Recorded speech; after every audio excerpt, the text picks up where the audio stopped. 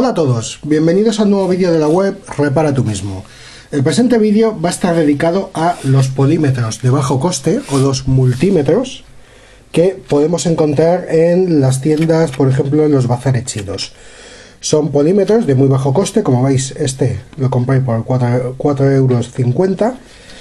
Eh, son polímetros que realmente yo no os los recomiendo, ya que son de muy baja calidad y el servicio que nos pueden dar por un poquito más que paguemos a lo mejor por 10, 12 euros podemos tener un polímetro de mucho mejor calidad, pero bueno, a veces eh, no nos queda más remedio que utilizar estos o no encontramos otros a mano. Y nada, ¿por qué no dedicar un vídeo a ver qué, qué se puede hacer con estos polímetros y realmente qué utilidad le podéis sacar? Y de las escalas que tiene, pues cómo las manejaríamos, ya que como los vídeos de, de, la página web Repara tú mismo están dedicados a gente sin conocimientos y generalmente inexpertos, pues nada, entiendo que muchas veces cae en vuestras manos un aparato de medida como este y es un mundo de entenderlo o no sabéis por dónde empezar a, coger el mismo. Pues nada, vamos a explicar cuatro cositas que pueden ser de, interés. El multímetro lleva una serie de eh, graduaciones, de escalas conmutadas. Lleva la escala de corriente continua, DC, que iría para 10 voltios a fondo de escala, 50 voltios, 250 o 1000. Yo con un aparato así, de tan baja calidad, no se me ocurriría nunca en la vida medir eh, alto voltaje, 1000 voltios, o 800 voltios con un aparato de esta calidad. Como máximo podéis medir pues 250 voltios, pero bueno, no creo que vayáis a encontrar corriente continua de un valor tan alto. Lo más normal sería, por ejemplo, medir una batería de coche. Para una batería de coche de 12 voltios, la escala de 10 a fondo de escala se nos quedaría corta, la aguja pegaría en esta parte, ya que sería demasiado. Usaremos la escala de 50. Usando la escala de 50, vemos en las escalas que lleva el polímetro a cuál corresponde, que sería la negra, la intermedia.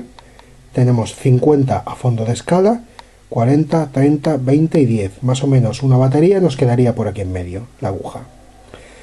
Eh, es bastante impreciso, para cosas de estas conviene usar un polímetro digital, pero bueno, con este también se puede medir.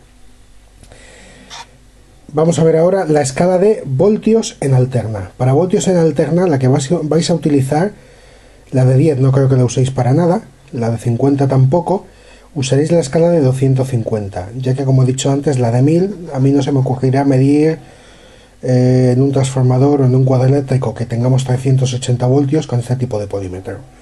Como máximo podemos medir 250. En teoría está preparado para 1000, pero bueno, corremos el riesgo de que no lo esté y tengamos un accidente. Yo no lo haría. Usando la escala de 250, por ejemplo en España tenemos 220-230 voltios, usaríamos la de 250 nos guiaríamos. Realmente tendríamos que mirar la escala roja. La escala roja veis que tiene una continuación con la escala negra. El 250 lo encontráis aquí, en esta parte de la escala.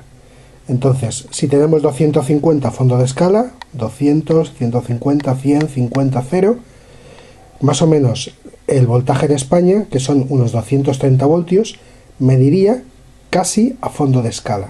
Por aquí aproximadamente la aguja. Ahora lo veremos. Para otros países que tenéis 110 voltios o 120, mediréis aproximadamente por esta zona. Lo dicho, de las dos escalas eh, hemos quedado que realmente de la de continua nos valdría la de 50, de alterna nos vale la de 250 miliamperios en corriente continua. Máximo puede medir 0,5 eh, amperios. 0,5 amperios en corriente continua es muy poca corriente. Corréis el riesgo de meterle una corriente mayor, mayor intensidad, y que la aguja pega un golpe y se fastidie el aparato. Yo, por ejemplo, esta escala, con este aparato, no aconsejo que la utilicéis, ya que las posibilidades de romper el, el aparato de medida son muy elevadas. Y por último nos queda la escala de ohmios, por un K, o sea, por 1000 o por 10. Esto significa que en la escala de ohmios, que es la de arriba, cuando nos marca a la derecha el 0 son 0 ohmios, o sea, un cortocircuito, y según va subiendo de escala hasta infinito, nos va marcando diferentes valores. Pues la medida que nos marca la aguja, el número que tengamos aquí arriba, lo tenemos que multiplicar o por 10 o por 1000, dependiendo de la escala que estemos utilizando. Si usamos esta, lo multiplicaríamos por 1000. Si usamos esta, lo multiplicaríamos por 10. Pero bueno, vamos a ver unas medidas y eh, veremos realmente cómo se usa. Lo primero que tenemos que hacer es que para medir en resistencia, el aparato necesita una... Bueno, lo primero de todo, ¿cómo colocar las puntas? Para colocar las puntas tenéis que guiaros por el positivo, que viene indicado, y el negativo. Por lo tanto, punta negra, negativo, punta roja, positivo. Vamos a medir en resistencia. Si intentamos medir tal como viene el aparato, vamos a ver que no mide nada. La aguja no se mueve. Esto es normal, porque para medir en resistencia, para estas dos escalas, el aparato necesita una pila, cosa que no viene incluida cuando lo compramos. Debemos colocársela nosotros. Vamos a colocarle la pila. Y haremos una medida en resistencia. Tenemos negativo y positivo, bien indicado el sentido que debe llevar la pila. Colocamos la misma. La plaquita del mismo como veis súper sencilla. Por eso que os comento que es un aparato que nos puede sacar de un pequeño apuro pero tampoco conviene abusar mucho del mismo ya que eh, no está preparado para medidas muy precisas o con voltajes muy elevados ya tenemos colocada la pila y lo primero que tenemos que hacer es calibrar el aparato a fondo de escala. Colocamos sus puntas, unimos los dos terminales y comprobamos si la aguja nos llega a fondo de escala con los dos terminales unidos. Si no nos llegas a fondo de escala, con este botón que tenemos lateralmente, graduamos la aguja para que la misma toque fondo de escala ya que al variar de una escala a la otra, la de 10 o la de 1000, el fondo de escala se modifica. Conmutamos a 1000 y en este caso no sucede apenas, pero lo normal es que al cambiar de 0 a 1000 o dependiendo sobre todo de cómo esté el voltaje de la pila que hemos colocado, la aguja nos puede subir más o subir menos. Por eso siempre, para medir en resistencias, debemos regular con el botón lateral el fondo de escala. Ya lo tenemos regulado y vamos a medir, por ejemplo, en la escala de por mil la bobina de una electroválvula. Colocamos y nos marca 4 aproximadamente, a ver si consigo que no se mueva, nos marca 4 aproximadamente, por 1000 serían unos 4000 ohmios.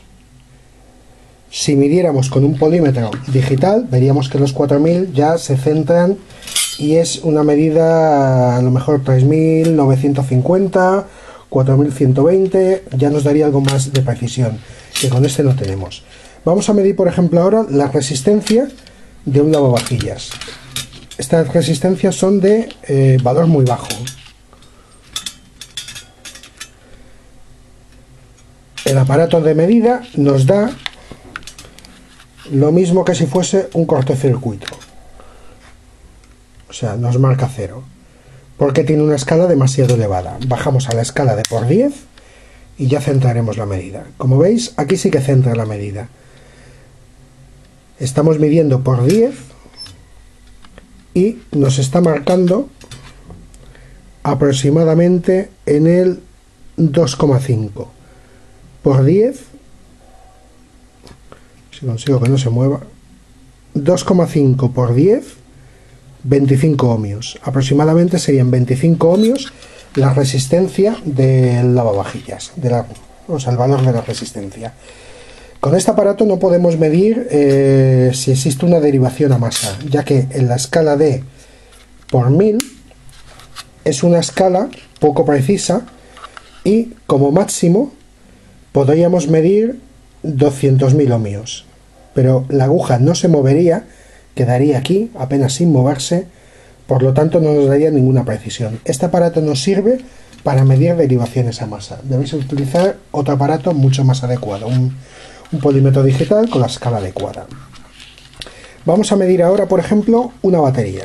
Colocamos en la escala de 50, ya que la batería tiene 12 voltios. Mucho ojo que con un digital no pasa nada si colocamos las puntas al revés. O sea, positivo le colocamos esta y la punta negativa y en negativo le colocamos la positiva, pero con estos aparatos sí que tiene mucha importancia si lo colocamos al revés, ya que nos los cargamos, los averíamos. La aguja, al medir al revés, pega un agujazo, pega un golpe contra el lateral y puede doblarse. Por lo tanto, mucho, mucho, mucho ojo a la hora de medir corriente continua, porque si invertimos las puntas podemos tener un accidente con el aparato, lo podemos averiar. Colocamos las puntas correctamente, como veis, y el aparato nos mide en la escala de 50 fondo de escala tenemos 50 40 30 20 10 unos 10 20 unos 12 voltios aproximadamente eh, cuanto mayor sea el tamaño de la escala, mucho más preciso será. Por eso estos aparatos, al tener una escala muy pequeñita, son muy imprecisos. Llegamos a ver que hay 12 voltios, pero bueno, no los vemos bien. Vamos a probar ahora, por ejemplo, una pila. Con una pila nos fijamos lo mismo en cuál es el negativo, que es este, y el positivo, que es ese. Comprobamos una pila de 9 voltios. Esta en concreto está bastante descargada, tenemos la escala de 10 9, 8, unos 7 voltios tiene aproximadamente. Es un tanto complicado verlo con este tipo de, escalas tan pequeñitas pero bueno, siempre se puede mirar alguna cosa. Y ahora vamos a hacer lo último la medición en corriente alterna el voltaje de las viviendas. Corriente alterna, seleccionaremos la escala de 250 giro la cámara ya que vamos a medir en el enchufe. Recordad que estamos midiendo un enchufe por lo tanto tenemos un riesgo eléctrico. Para España serían 230 voltios en otros países 110 o sea, ojo con lo que tocáis ya que no quiero que tengáis ningún accidente y vamos a medir lo dicho en la escala de 250 a fondo de escala. Es indistinto en corriente alterna como coloquemos las puntas. Buscamos que haga contacto. Y como veis, a fondo de escala serían 250 voltios. A ver si consigo hacer contacto, este enchufe está bastante cascadete. El rango tenemos 250 fondo de escala, el, el rango, perdón, menor serían 200, no consigo centrarlo ahora, por lo tanto 225 entre medias, unos 230 voltios aproximadamente.